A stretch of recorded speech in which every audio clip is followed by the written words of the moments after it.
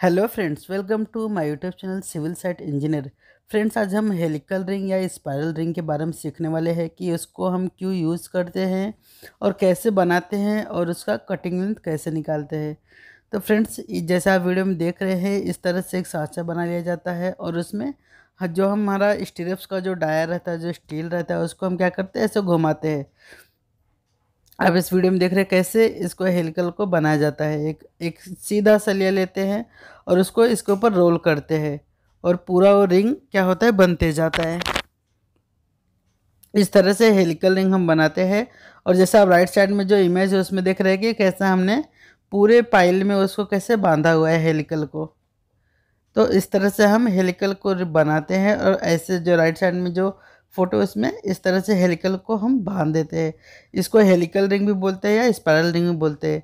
तो helical ring क्या होता है? तो द स्पायरल और helical provided around the bars of the column acts to provide support in the lateral direction and prevent the column from buckling means ये जो helical ring होता है, वो कॉलम को बकलिंग से बचाता है और उसको लेटरल डायरेक्शन में जो फोर्सेस होते हैं, उस पर क्या होता है, उसको प्रिवेंट करता है। मीन्स जो हमारा हॉरिजेंटल जो उस पर को ऊपर जो प्रेशर आएगा, जो हॉरिजेंटल लोड आएगा, उसको क्या करता है, उसको रोकता है। क्या हमारा स्पायरल या हेलिकल नहीं, इसके लिए हम क्या करते हैं स्पायरल रिंग को हम प्रोवाइड करते हैं। मोस्ट ऑफ़ सर्कुलर जो हमारा कॉलम होता है, या फिर हमारी जो पाइल होती है सर्कुलर उसके अंदर क्या करते हैं हम स्पायरल रिंग को प्रोवाइड करते हैं और हेलिकल रिंग को स्पायरल या हेलिकल रिंग का कटिंग लिंक निकालने का फॉर्मूला है N under root C square plus P square N क्या है? नंबर ऑफ़ हेलिक्स है। सी क्या है? सरकमफरेंस ऑफ़ पाइल है। और पी क्या है? पिचिंग है। मीन्स दो रिंग या दो स्पायरल के बीच का जो स्पेसिंग है, उसको क्या पिचिंग कहते हैं। वो, उसको क्या बोलते हैं? पिचिंग और पी है। तो यहाँ पे क्या करते हैं हम? पी का वैल्यू कितना है? ज़ीरो पॉइंट वन फाइव जैसे यहाँ पे लिखा हुआ है। डेढ़ सौ एम है।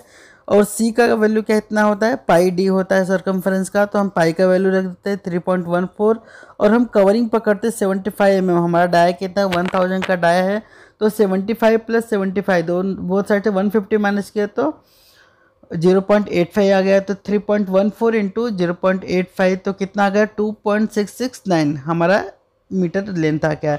एक रिंग का इतना हो गया। नंबर ऑफ़ रिंग्स कितना होता, हो जाएँगे, हमारा टोटल डेप्थ कितना है? फिफ्टीन मीटर है और स्पेसिंग कितना था? पॉइंट वन फाइव तो डिवाइड करेंगे तो उसका हंड्रेड नंबर्स आ जाएँगे।